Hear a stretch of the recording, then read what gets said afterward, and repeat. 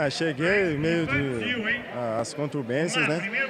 E a gente espera, pô, eu, no meu caso, todo jogador eu acho que a hora, a hora chega, né? E quando a hora chegar, você tem que é, lutar e conseguir uma vaga. E a hora chegou, agora é frente 2012 para conseguir alguma coisa a mais. Credencia começar 2012 como titular do Felipão, como que você se sente por isso?